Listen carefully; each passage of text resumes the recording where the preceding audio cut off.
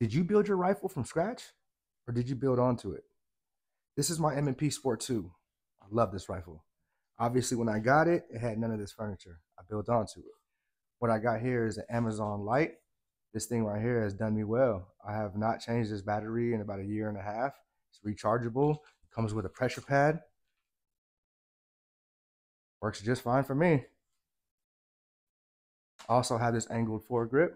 Helps me get it real good purchase on the rifle. This handrail, M-LOK all the way through. Love this thing. Obviously a drop-in because I have the fixed iron sights. I have the Magpul flip sight on the back.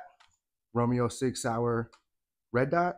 Now I could drop a magnifier on this, but I really want to prep this thing out for like 200 plus yards. I want to drop a pot on this, probably put an LPVO or something. Definitely need to upgrade the buffer tube. Right now, this is fine for what I'm doing. It's a Magpul uh, stock here, Magpul grip. These are, I believe they're called Hex mag magazines. Put tape on everything. As you see, I got a dummy around there. I also use a BAD lever. This thing's a lot of fun. If you don't got one, get one. Makes life a lot easier. Watch this. Right? It's locked back. Dummy round. Watch this. Boom. That's it. That's it. You're ready to rock and roll, cowboy? You know what I'm saying?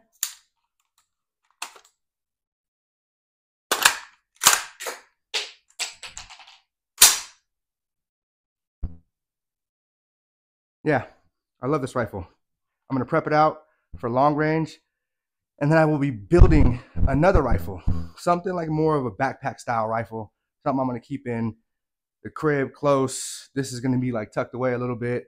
Obviously, it's gonna be there if I need it, but I want something that's a little bit um, shorter. Like this is a 16 inch barrel. I would prefer, for me personally, I would like like an 11 inch, 11 inch barrel, just for me um, 11 and a half pin and welded or something. I just I just think that's more realistic for home defense.